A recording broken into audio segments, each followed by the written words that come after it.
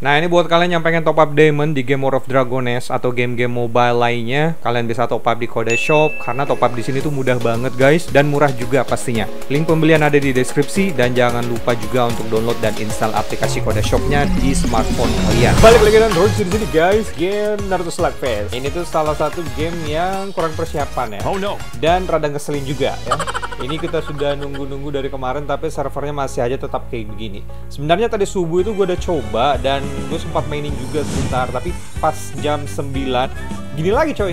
Gue login kita tes nih. Udah nggak bisa lagi tuh coy. Servernya ngeselin emang ya. Dan ini ratingnya di Play Store sudah turun jadi 2,1 guys. Terakhir gue lihat ya. Oh no. Dan kalau ini game seperti ini terus, gue yakin makin turun nanti tuh ratingnya. Nah, di sini tuh gue ada trik gimana caranya untuk kalian bisa mainin game ini. Yang pertama, kalian login via guest account. Jadi caranya kalian pilih server, habis itu pilih sign in with account, habis itu pilih guest account. Cara ini agak risky, kenapa? Karena kalian bisa di ban menggunakan cara ini. Yang gue pribadi juga nggak ngerti kenapa bisa di ban gitu loh. Kemarin gue coba pakai guest account, habis itu gue bind accountnya, habis itu kena ban guys. Kan bodoh. Jadi gue saranin buat kalian yang pakai guest account, uh, mainin aja dulu sampai servernya benar-benar stabil. Habis itu kalian bind. Dicoba aja. Nah ini gue udah bisa masuk nih guys. Sekarang kita coba. Start. Server BC oke cari server yang hijau cuy. Abu rame. Oke. Ini servernya udah banyak banget asli. Baru berapa baru dua hari ya. Nah, jadi caranya seperti itu. Gunakan guest account. Untuk sementara jangan di account dulu. Karena bisa ke ban, guys. Gue kemarin coba gitu ke ban coy akunnya. Dan game ini tuh lebih enak dimainin di HP dibanding di emulator karena kalau di emulator analognya itu kacau banget. Larinya kanan kiri nggak lurus ke depan. Kocak. Oke, Rasengan. Mamam. Mamam. Dan untuk fitur kameranya menurut gue lebih enak menggunakan 2,5 ya untuk battle ya. Kalau untuk dapetin view yang bagus ya 3D pasti lebih bagus. Cuman untuk battle gunakan kamera 2,5 dimensi. Untuk dapetin view angle battle yang benar-benar pas gitu loh.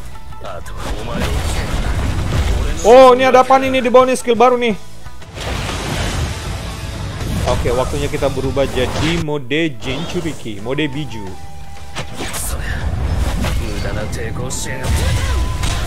Wasen Shuriken.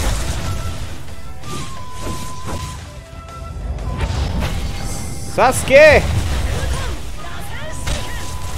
Gue nggak tahu ini bedanya apa, Rasen Shuriken yang warna biru sama Rasen Shuriken yang warna ini. Tolong komen di bawah dong. Tuh, ada Rasen Shuriken yang warna kuning tuh, guys. Apakah itu beda cakra ya? Mungkin kalau yang biru cakranya Naruto ya. Kalau yang Rasen Shuriken kuning cakranya si QB gitu loh. Oke. Last skill. Rasengan. Sumpah ini game tuh keren banget aslinya cuman ya begitulah. Game populer biasanya emang banyak masalahnya pada saat awal rilis. Oke, kita skip baik lah cakep banget grafiknya ya kan ya Prelude Naruto's Return ya kita skip aja lah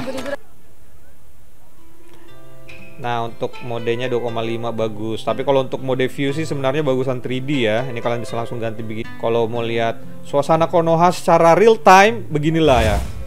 Asik nggak tuh? Oke kita maju dulu. Oh bentar kita setting dulu Kita setting dulu Kita setting dulu. BTW akun gue yang kemarin waktu live streaming itu udah lumayan tinggi sih levelnya udah level 27 kalau nggak salah. Dan gue udah ketemu Icha Itachi loh itu. Eh gue pengen lanjutin tapi sayang banget susah banget masuk servernya guys. Oh iya bentar gue lupa. Kita masuk ke settings dulu cuy.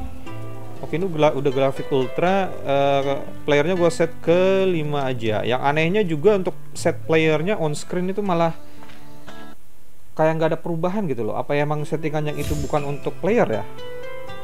Gak tau juga sih. Oh ya lupa. Untuk musiknya Sorry gue matiin dulu. Ini dia boss locknya jangan lupa guys di diaktifkan untuk mode 3D nya ya Untuk musik gue matiin. Dan yep Lanjut lagi. Sakura Chang. Naruto no Ni-chan Naruto no Ni-chan Arika dijatsu Berapa kali pun gue liat sini ini tuh kocak parah asli. Naruto Baka. Doda kore. Hero ninjus. Tapi kekocakan Naruto itu emang lebih banyak waktu masa kecilnya ya dibandingkan di Shippuden ya. Shippuden itu udah mulai serius coy.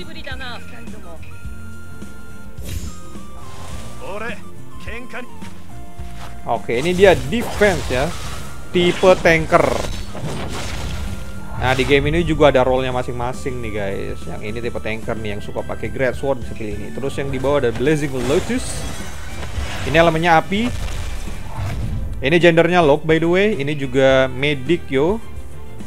Jadi yang pengen jadi support pilihlah si medical fire ini. Terus ada mobile shield yang suka dengan playstyle assassin gunakan ini. Ini elemennya listrik seperti halnya dengan Kakashi ya.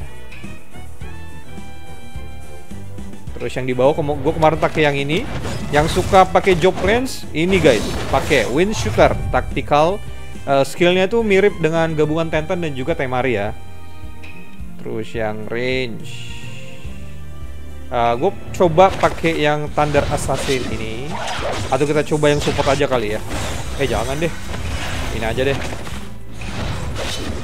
Alah gue malah bingung ini. Assassin deh. Eh, namanya aduh. Ya elah nama saya siapa? Bisa diganti gak sih namanya? Hori Andrai, kocak.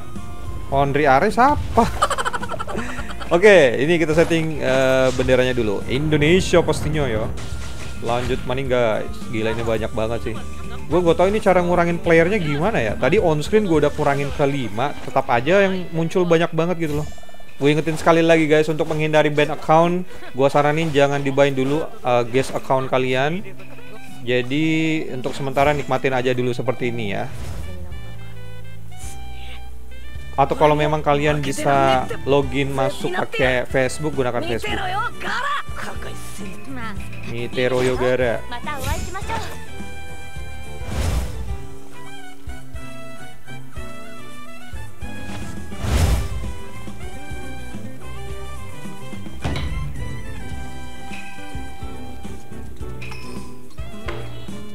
Connection gue weak.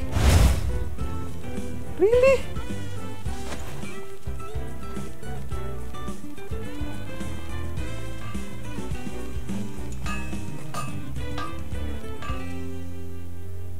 Oh ya, Naruto. Eh. Ah, thank you, Osan. Ush, Di game ini juga punya dungeon yang menurut gue seru juga terutama kalau misalnya kalian lawan karakter-karakter yang jago. Dan kita juga nanti bisa lawan uh, Biju gitu loh coy. Yang kayak Shikaku terus kayak QB juga. Wah semoga aja yang fitur itunya sistemnya rate juga ya. Oke waktunya latihan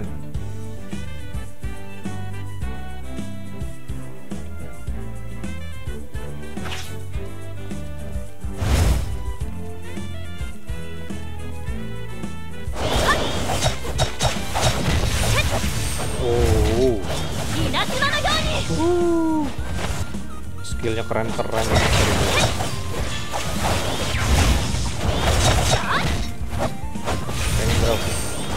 Well nggak salah juga sih untuk pilih kelas yang satu ini. Cuman sayangnya gendernya lock ya. Dan semoga aja nanti ke depannya ini game tuh punya kostum gitu. Soalnya satu map pakainya sama semua guys. Oke ini kita latihan nih. Bareng Naruto dan juga Sakura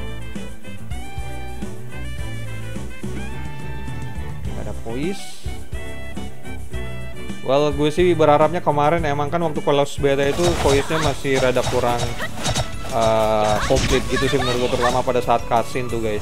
Dan sekarang sepertinya sama aja. Mungkin yang membedakan kali bahasanya ya. Gue belum lihat bahasa Indonesianya di sini. Yang waktu close beta sih tuh, aduh parah banget sih untuk bahasanya.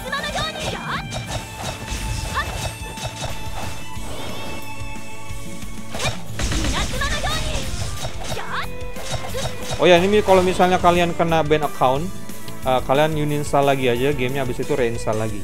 Jangan lupa di clear datanya dulu di Play Store. Oke kita lawan. Kakashi. Kakashi Sensei.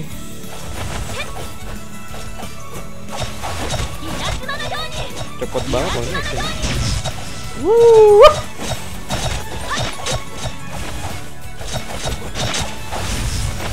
Oh, gila jauh banget itu. Asik sekali. Wah, combo asasinya keren guys.